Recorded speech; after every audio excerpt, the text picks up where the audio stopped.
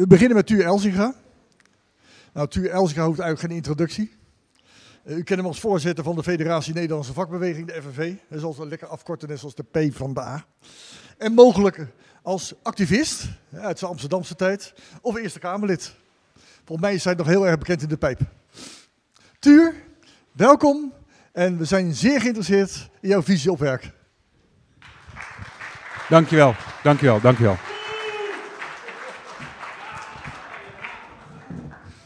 Je mag straks buiten nog boer roepen.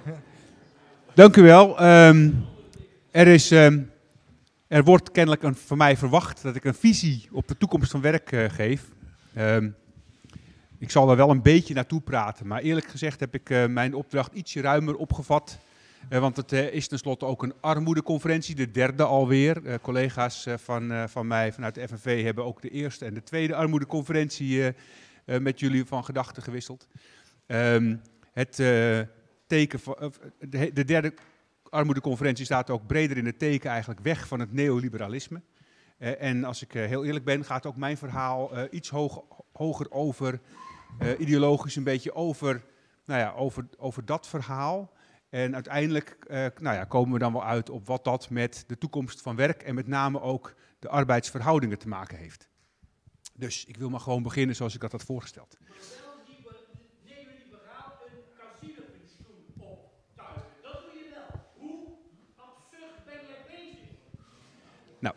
Dankjewel voor deze introductie. Ik wilde graag. Zullen, zullen wij na afloop daar een gesprek over? Want het is. Oh, nee, dan niet. Maar dan, dan vraag ik. Er is altijd een uitzondering in de zaal, hè? Wil, ja. Goed, beste mensen. Er waart, er waart een spook door Europa en eigenlijk veel breder door de hele democratische wereld. Het spook van het populisme. Het volk komt breed in opstand tegen de elites, tegen de culturele elite, tegen de intellectuele elite, tegen de bestuurlijke elite. En de economische elites die weten niet heel goed hoe ze zich hiertoe zouden moeten verhouden. Net als in 1848, het revolutiejaar, wil ik mijn verhaal eigenlijk even beginnen in Frankrijk. Want ook in 1848 begonnen de revoluties met de februari-revolutie in Frankrijk, in Parijs. En niet vanwege de gele hesjes, die natuurlijk ook eigenlijk als het gaat om de opstand tegen de bestaansonzekerheid in Frankrijk zeiden, ja, uh, zij daar in Parijs, zij maken zich zorgen over het eind van de wereld. Maar ik maak me zorgen over het eind van de maand. Gevolgd door vele opstanden van ook boeren in Nederland, nu in Duitsland recent. Uh, en heel veel werkenden die met stakingen voor hun eigen bestaanszekerheid knokken. En niet alleen arbeiders, boeren, maar ook heel veel kleine middenstanders maken zich zorgen over hun bestaanszekerheid. Maar daarom begin ik niet mijn verhaal in Frankrijk. Nee, ik begin eigenlijk met Thomas Piketty, die toevallig ook een Fransman is. Hij schreef alweer meer dan tien jaar geleden een vuistdik boek, Kapitaal in de 21ste eeuw, en waarmee hij eigenlijk liet zien dat sinds de tijd van Marx, sinds het Communistisch Manifest in 1848 en die periode, uh, eigenlijk de accumulatie, de opeenhoping van kapitaal onverminderd voort is geschreden. Het gaat maar door. Het kapitaal blijft zich opeenhopen in steeds minder handen. Die concentratie van welvaart, van kapitaal en van economische macht is problematisch. Is problematisch. Niet uit afgunst, niet omdat rijkdom problematisch is. Iedereen die met veel hard werken een hoop geld heeft vergaard, wees er gelukkig mee. Prima. Niet vanwege um, de schaalvoordelen van grote bedrijven die ook veel welvaart hebben geaccumuleerd. Want natuurlijk met schaalvoordelen kun je, uh, nou ja, goedkoper produceren, producten en diensten goedkoper aanbieden. Er zijn heel veel voordelen van te benoemen. Maar vanwege het feit dat er ook tekorten zijn. Dat heel veel mensen worstelen met hun bestaansonzekerheid en dat aan de ene kant, nou ja, uh, Oxfam Novib heeft het met een internationaal rapport aan de vooravond van het World Economic Forum nog maar eens aangetoond, uh, dat een handvol miljardairs in een paar jaar tijd hun enorme vermogen heeft verdubbeld, terwijl in diezelfde periode de andere helft van de wereldbevolking uh, nou ja, er, er, ongeveer een maand aan inkomen per jaar uh, op achteruit is gegaan als gevolg van de hoge inflatie vanwege de bestaanszekerheidscrisis. En omdat die economische verhoudingen ook in stand worden gehouden door de economische machtsconcentratie in handen van die nou ja, kleine groep die het graag wil houden zoals het is. Tekorten, bestaansonzekerheid is een probleem, maar ook die hele grote vermogens en economische macht in zo weinig handen, um, die, die uh, economische macht die altijd maar nog meer wil, is een probleem. Want waarom willen ze altijd maar nog meer? Nou ja, voor heel veel mensen die worstelen met bestaansonzekerheid, is een kleine loonsverhoging, een tientje erbij in de maand, of een paar procent erbij, een ontzettend belangrijke stap vooruit. Een enorme verbetering van hun welvaart. Maar als je al ontzettend veel miljoenen of misschien zelfs miljarden op je rekening hebt staan, dan is nog een paar miljoen erbij. Dat, dat voel je niet eens. Daar word je niet gelukkiger van. Als je al heel veel geld hebt, dan heb je aan 10% loonsverhoging of salarisverhoging of meer rendement niet een euforisch gevoel. Dan moet je op zijn minst nog een jacht erbij kunnen, uh, kunnen varen. Of uh, nou ja, als je nog rijker bent met een raket naar Mars of iets dergelijks, wil je nog een klein beetje dat gevoel hebben van hé, hey, ik ga erop vooruit. En zoals Gandhi al zei, er is genoeg, de wereld kan genoeg produceren voor de behoeften van iedereen, maar niet voor ieders hebzucht. En die behoeften, die zijn redelijk gelijk verdeeld in de wereld. Er is, uh, nou ja, niet zo heel veel verschil tussen de behoeften van de een en de ander. Sommige mensen hebben misschien behoefte aan meer zorg dan de ander. Als je wat ouder wordt, heb je wat meer behoefte. Als je heel klein bent, moet je ook nou ja, kunnen vertrouwen op grote mensen die voor jou zorgen, die jou ook naar school laten gaan, et cetera. Maar de behoefte zo door een mensenleven heen loopt niet zo verschrikkelijk uiteen. Maar de hebzucht, die is ontzettend ongelijk verdeeld. Het zijn juist de mensen die al ontzettend veel hebben, die nooit genoeg hebben en altijd nog veel meer willen. Die dictatuur van de hebzucht, die, nou ja, die heeft eigenlijk ongeveer een halve eeuw geleden echt postgevat. Die heeft echt postgevat met de neoliberale revolutie, waar we dan vandaag, begrijp ik, afscheid van nemen. En dat is goed nieuws. Um, die neoliberale revolutie die werd 50 jaar geleden in proeftuin Chili na de putsch van Pinochet uh, echt, uh, nou ja, uh, een kans gegund, zeg maar zeggen. Hè? De, de Chicago Boys van, van Friedman die kregen daar nou ja, de vrije hand om de economie te hervormen en met een economische shockdoctrine, zullen we zeggen, het land van inflatie en economische malaise af te helpen. En dat gaf succes. Niet voor de grote meerderheid van de bevolking, want die waren, als ze niet al waren, doodgeschoten in de, in de putsch, vooral heel erg arm. En die bleven ook decennia overwegend arm. Maar de rijken die hadden daar wel veel voordeel van. En uh, multinationals, die werd daar vooral heel erg veel ruimte geboden om ontzettend veel economische kansen te grijpen. En dat is de geschiedenis ingegaan onder economen als het economische wonder. En dat werd dus ook vanuit de multinationals en hun aandeelhouders vooral gepusht als een kijk, wat een mooi succesverhaal. Dat moeten wij ook willen. En dat kreeg navolging in de Verenigde Staten en in uh, Engeland.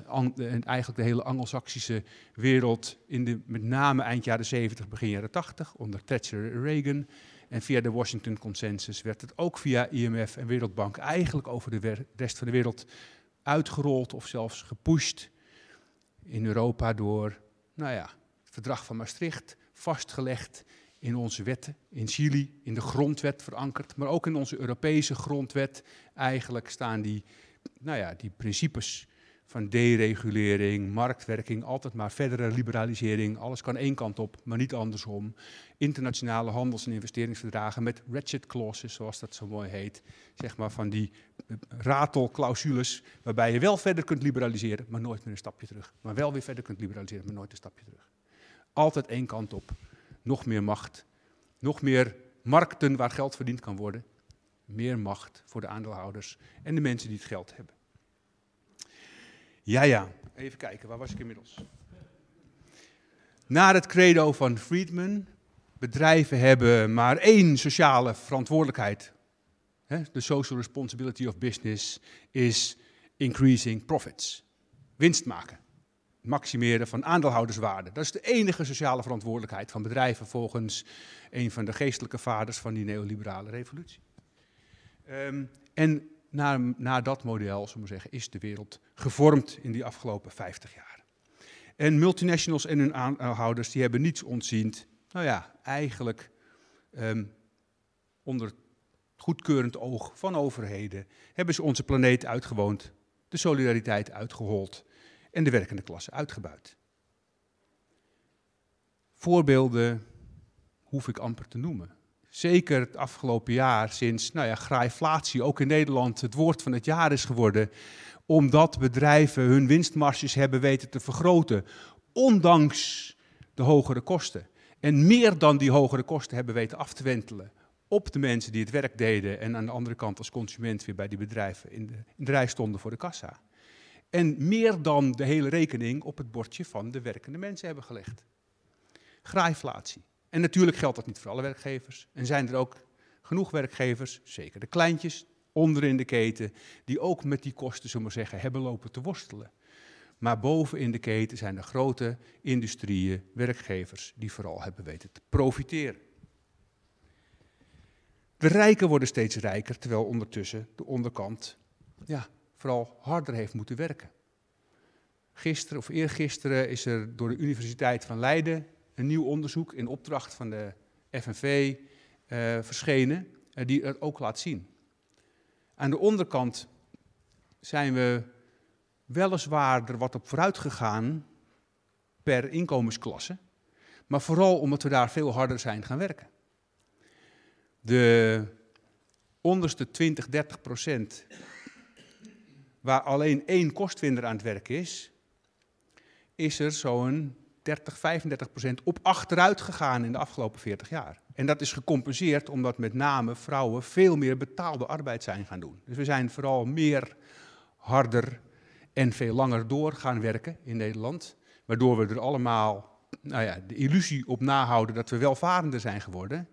En we zijn ook als land veel welvarender geworden, maar die welvaart is vooral bij de bovenste helft terechtgekomen en voor een overgroot deel bij een heel klein percentage. De ecologische destructie zal ik vandaag uh, niet te veel woorden aan, uh, aan, aan, bevatten, maar ook daar hè, klimaatverandering, uh, achteruitgang van biodiversiteit. Ik hoef er niet te veel woorden aan vuil te maken, denk ik. Jullie kunnen je de voorbeelden wel voorstellen. Maar op het uithollen van de georganiseerde solidariteit, de solidaire samenleving en het probleemoplossend vermogen van de overheid wil ik wel wat verder ingaan. Want winstmaximalisatie vroeg ook om het ontginnen van nieuwe markten. In heel veel landen onder druk van nou ja, neoliberale marktdenken werden ook uh, nou, de gezondheidszorg, onderwijs, tot op zekere hoogte veiligheid met private beveiligingsbedrijven in sommige landen, zelfs gevangenissen geprivatiseerd. Aan de markt, naar de markt gebracht. En overal werd marktwerking en deregulering, denk aan de arbeidsmarkt, uh, geïntroduceerd en uitgerold. Um, en onder het motto van rolling back the state, zoals dat uh, werd gepropageerd vanuit uh, Reagan en Thatcher in de jaren 80. En onder druk van belastingconcurrentie, internationale belastingconcurrentie, moest de overheid vooral kleiner, dus werd er bezuinigd. Um, en nou ja, wat ik al zei, gedereguleerd en werden die neoliberale regels meer en meer vastgelegd ook in nationale en internationale verdragen. Met als gevolg dat de overheid, nou ja, niet alleen kleiner werd, maar ook minder grip had op de economie en ook steeds vaker eigenlijk um, um, tekortschoot als het ging om dat probleemoplossend vermogen. Daar waar in de jaren nou ja, 50 en 60 van de vorige eeuw een land opgebouwd moest worden uit de puinhopen van een Tweede Wereldoorlog, er ondertussen een sociale welvaartsstaat kon worden opgebouwd. Er op grote schaal sociale volkshuisvesting kon worden gerealiseerd voor de mensen die woningnood hadden. Ehm, openbaar vervoer kon worden gerealiseerd eh, en steeds meer dorpjes, kleine dorpen, ook op het platteland konden worden aangesloten. Er meer en meer voorzieningen waren. Ehm, en er ondertussen, als het ging om de bedreigingen van het wassende water, deltawerken konden worden gerealiseerd. Daar staat nu bij de eerste de beste uitdaging uh, de overheid, voor zover ze al vinden dat het hun verantwoordelijkheid is en niet iets dat ze moeten afschuiven naar de markt of naar lagere overheden of tegen het individu kunnen zeggen, los het zelf maar op, het is jouw verantwoordelijkheid. Uh, staat de overheid steeds vaker daar waar ze wel vinden dat het hun taak is, eigenlijk met de handen in het haar. Ja, we hebben de capaciteit niet. Ja, dat, dat, zou de Belastingdienst theoretisch kunnen doen, maar ja, we hebben de ICT-capaciteit niet, we hebben de uitvoeringscapaciteit niet, we hebben personeelstekort, we hebben de mensen niet. Uh, jarenlang veronachtzamen van die publieke taak, uh, bezuinigen en nou ja, heeft het probleemoplossend vermogen van de overheid niet bepaald geholpen. De overheid ja, is eigenlijk kwetsbaar geworden. Grotere verschillen we zijn kwetsbaarder geworden voor economische crisis. Denk aan de financiële crisis van 2007, 2008. Uh, door die deregulering, deregulering van financiële markten uh, met name. Uh, maar niet alleen dat, we zijn ook als samenleving kwetsbaarder geworden. Overheid die nou ja, veel in de uitverkoop heeft gedaan. Het sociale cement in de samenleving, dat is geërodeerd. relaties tussen burgers, maar ook tussen de burger en de overheid, die veel transactioneler is geworden. Um, de overheid die burgers meer is gaan wantrouwen en omgekeerd de burgers die de overheid ook niet bepaald beter zijn gaan vertrouwen. Die bestaansonzekerheid plus dat wantrouwen in de overheid en in de elites is een hele gevaarlijke cocktail. Is een hele gevaarlijke cocktail. Dat heeft het verleden vaker laten zien. Um, het heeft ertoe geleid ook nu, dat veel mensen ook een beetje het geloof in de vooruitgang zijn kwijtgeraakt. Het vooruitgangsgeloof, eigenlijk wat, nou ja, zeker sinds de verlichting en ook sinds de Franse revolutie, ik grijp dan toch maar weer even terug op Frankrijk en dan niet die februari-revolutie, maar die al van daarvoor. Die eigenlijk uh, ervan uitging, joh, we gaan de goede kant op als mensheid, alles gaat beter. Um, we krijgen er meer zeggenschap over, meer grip op ons leven. Um, ja, het is af en toe zwaar, uh, zeker ook in de tijd van de wederopbouw. Joh, we hebben het niet zo breed. Maar één ding weet ik zeker, morgen is beter dan vandaag en mijn kinderen hebben het beter dan ik. Wie kan dat nu nog zeggen? Met droge ogen. Heel veel mensen hebben daar op zijn minst twijfel bij. En heel veel kinderen denken, ja, mijn ouders hebben een koophuis, maar ik denk niet dat ik ooit in de positie ben dat ik een huis kan kopen. Uh, ik ben nu al 27, 28, ik woon nog steeds thuis. Of um, ouders die denken van ja, mijn kinderen, wanneer gaan ze eindelijk? Of uh, die na een scheiding denken, en nu? ik sta ineens op straat. Uh, of nou ja, als het gaat om de zorg voor hun, hun ouders of de volgende generatie. Het wordt niet automatisch beter. In elk geval, mensen hebben er niet meer het rotsvaste vertrouwen in dat morgen beter is dan vandaag.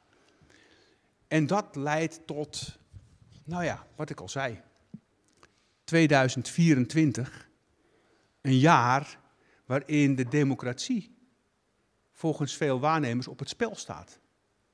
Niet alleen in Nederland is een partij met maar één lid, één lid die alleen heerser is in de partij, die geen democratie kent in de partij, de grootste partij van Nederland geworden.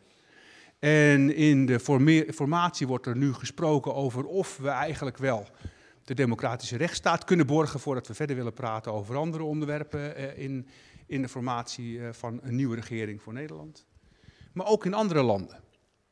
In andere landen, Trump, die een goede kans maakt om uh, herverkozen te worden, uh, uh, die zich, nou ja, zijn aanhangers in elk geval niet zonder slag of stoot de vorige keer gewonnen hebben gegeven toen hij democratisch weer verloor. En waarvan we mogen verwachten dat het de volgende keer zeker niet gemakkelijker gaat worden om via het democratisch proces ook weer van zo'n zo ja, autoritaire leider af te komen.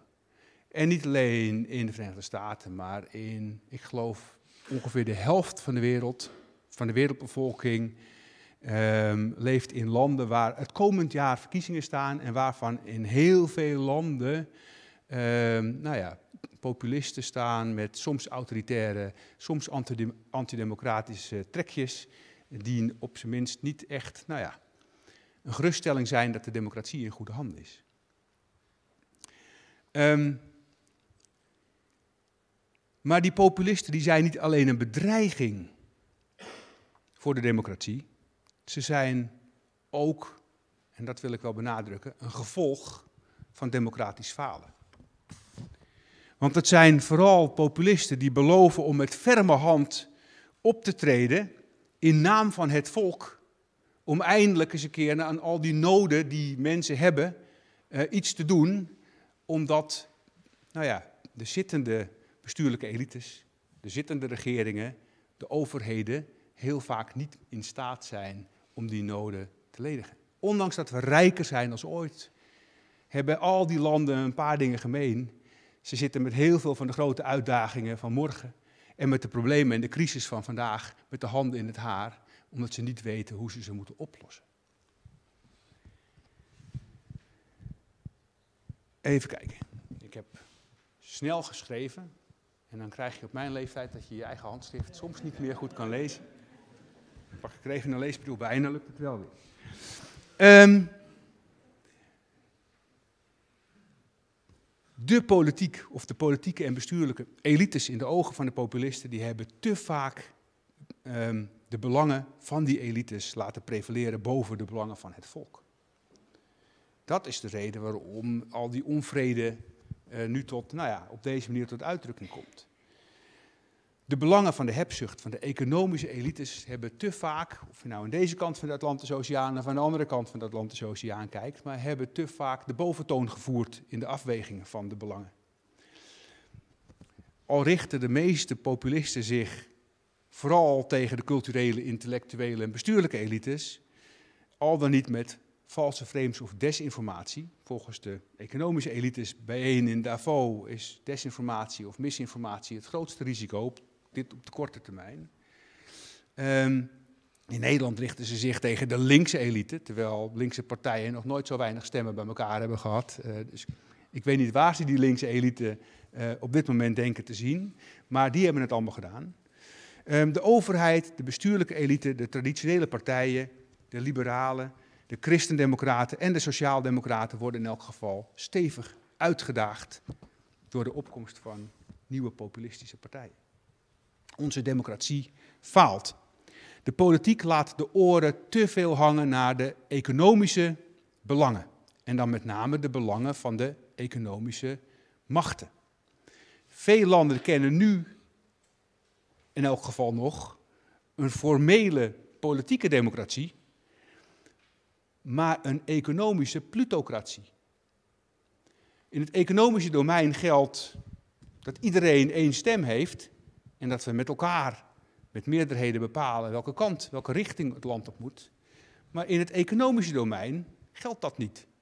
In bedrijven hebben we over het algemeen hiërarchische bestuursmodellen.